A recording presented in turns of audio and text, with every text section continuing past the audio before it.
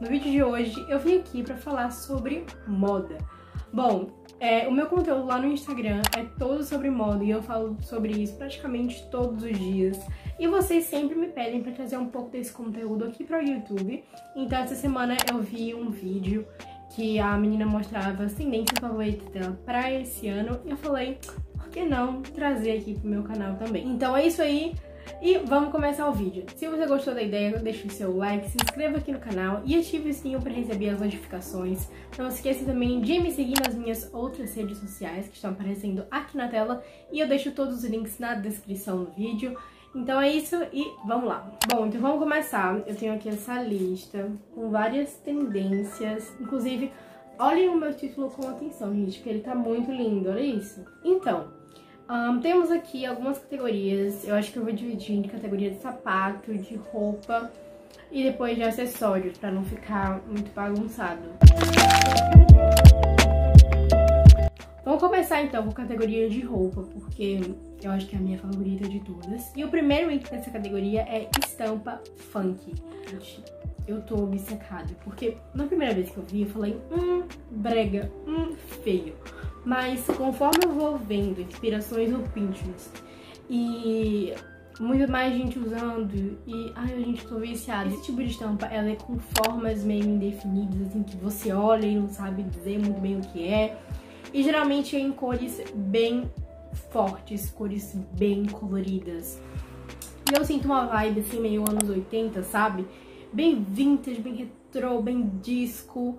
Em um vestido daquela marca House of Sunny, que é com esse tipo de estampa, que é a estampa mais funk. E, nossa, eu acho esse vestido muito, muito lindo. Ah, aí também falando um pouco de estampa, temos Animal Print. Só que não é qualquer Animal Print.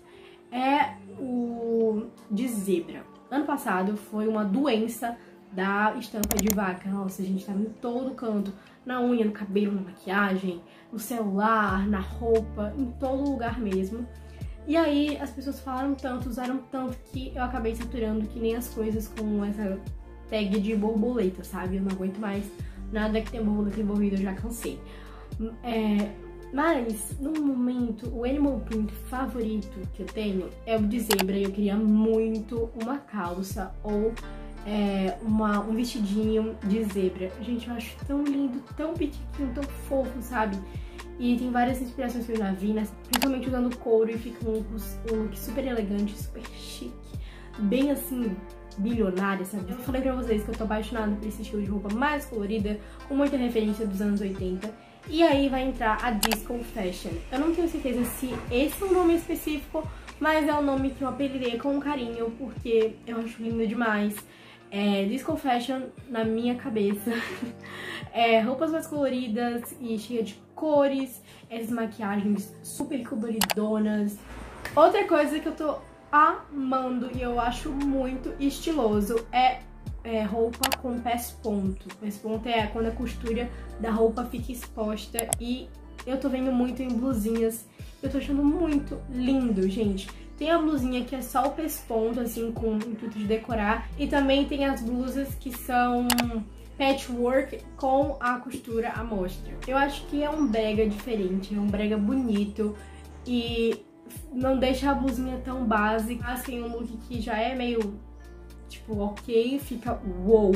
E aí também temos o patchwork, só que assim, no último ano, as pessoas meio, eu senti que saturaram um pouco patchwork. Eu, pelo menos, saturei um pouco, principalmente as calças de patchwork, daquelas todas remendadas, assim, coloridas. Eu dei uma... Sabe? Mas as blusinhas eu ainda tô viciada. E tem as blusinhas de patchwork que elas são nessa onda mais colorida, mais disco. E elas são com cores bem fortes. E é o tipo de roupa que eu falo assim, brega, ridículo, mas se me desse eu vestiria tranquilamente e ficaria muito feliz. E aí temos também uma tendência polêmica, em que muita gente não gosta. E essa é cintura baixa. Brincadeira, gente, não vou falar disso aqui não, porque eu já cansei, saturei de falar de cintura baixa. Que é a bermuda, assim, uma vibe roupa de velho, roupa de idoso, sim, Mas eu acho muito bonito e eu tô achando a coisinha mais fofa do mundo do que o bermuda. Muda, mas peraí, que tem uma categoria, tem que ser específico, da que eu gosto. Porque tem a bermuda skinny, que pra mim não rola, eu acho feio. E tem a bermuda com corte reto mais larga. E essa é a minha favorita e a que eu tô observando e querendo muito que é desse estilo assim, sabe? Eu sinto uma coisa mais Rachel de Friends, esse tipo de roupa. E eu acho lindo demais. Assim, facilmente substituiria um short pra mim, um short jeans. Eu sei que tem muita gente que não gosta, que não curte taxa de velho. É, de velho é assim, mas eu sou uma idosa, então bate. E pra finalizar, temos os Flare Trim Coats, outra tendência brega que eu acho chique. Um, a Bella Hadid usou um desse e eu já tinha visto várias outras inspirações com ele e eu achei muito lindo. É tipo um casaco, um sobretudo assim. Só que aqui nas mangas e no capuz tem uns, uma, tem uns pelos assim cobrindo, sabe? Um pelo colorido. Então acho que estamos finalizados com a categoria roupas. Agora vamos para a categoria sapatos. Categoria sapato, a primeira tendência que eu estou de olho e que pra, na minha mente faz parte da moda disco dos anos 80 são as botas de plataforma. Gente, é muito linda. A bota de plataforma e ela é muito linda. Tem umas que são em cores coloridinhas, rosa, amarelo, verde, e essas eu acho lindas. E também tem as de cores mais neutras. Aí eu já vi umas que são invernizadas. A Versace fez o desfile é, outono inverno e tinha essas botas e eu achei muito bonito. Mas elas são muito lindas e vintage e cool. Um, segunda categoria também eu sei que tem muita gente que não gosta. A galera é do streetwear, a galera do tem, gosta dessa estética dos anos 2000 provavelmente vai odiar. Que são é, sapatos mocassim, sabe?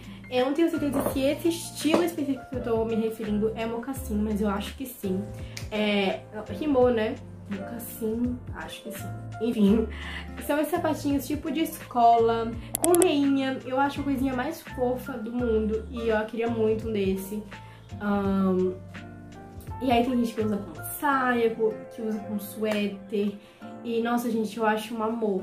E aí, falando de botas, temos bota tratorada. Bota tratorada tá em ó, há anos.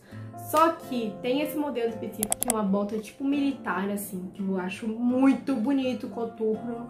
É, tem esse estilo que é bota, tipo uma bota militar, que eu acho muito bonita.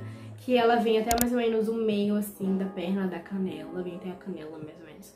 E aí esse tipo de bota vem mais ou menos assim, até o meio da perna, vem até a canela.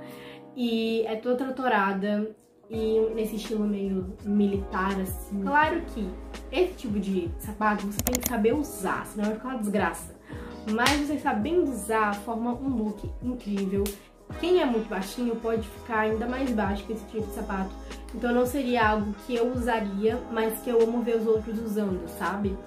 E pra finalizar, eu vou falar de uns saltinhos que eu acho que eles estão em tendência, assim, desde o ano passado. Se eu não me engano, o nome é tamanco, que é um tipo de sapato com fundo aberto. E tem um específico que é com salto triangular, que eu acho muito fofo, muito lindo e elegante. E o legal dele é que eu vejo as pessoas usando assim, tranquilamente no dia a dia, ali no shoppingzinho, usando. E também à noite, tipo, pra uma festa mesmo. Então eu amo esse tipo de, esse tipo de salto por isso. E vamos para a categoria acessórios, que é a categoria mais divertida aqui, pelo menos a minha opinião. E temos muitas coisas de acessórios, né, gente, pra tendência desse ano. Que eu já tô começando, que eu já tô vendo muita gente fazendo, muita gente falando. E tem muito acessório mais artesanal também, que você pode fazer em casa. Então eu acho isso bem interessante. Vamos começar falando dos polêmicos clay rings. Clay ring é basicamente um anel feito de argila, de biscuit, e eu acho legal, só que assim, tem estilos específicos de clay ring pra mim. Tem uns que são muito grossos e eu acho que é meio desconfortável de usar, mas, mas eu ainda acho super legal, sabe, divertido esse tipo de anel que é mais artesanal e colorido. E também tem os plastic rings, que as gringas estão usando muito, e são uns anéis feitos de plástico com uns detalhes em dourado. Que é muito bonito. Ainda nessa coisa meio disco dos anos 80, anos 70 assim, temos os óculos de lente colorida. Eu tô viciada nesse tipo de óculos e eu queria muito um. A Emma Chamberlain usou um modelo de óculos específico com lente amarela e a armação preta, que eu achei lindo demais. E depois de... começou a aparecer um monte de inspiração pra mim no Pinterest e eu fui me apaixonando cada vez mais por esse estilo de óculos. Agora vamos falar de anel de novo, só que é um estilo diferente de anel. São anéis mais grossos e dourados. Esse tipo de anel eu já salvei várias inspos no Pinterest e eu até vi que a C&A tá vendendo é, um estilo assim. São ao mesmo tempo muito elegantes, tem aquela coisa, aquela elegância do dourado e também divertidos por conta das figuras e frases que estão nele, sabe? Então, gente, é isso. Essas foram as minhas tendências favoritas de 2021. Eu espero que vocês tenham gostado. Se você gostou, deixe seu like, se inscreva aqui no canal e ative o sininho para receber as notificações. Não esqueçam também de me seguir nas minhas outras redes sociais que estão aparecendo aqui na tela e também na descrição do vídeo. Então é isso, um beijo e tchau! Até o próximo vídeo.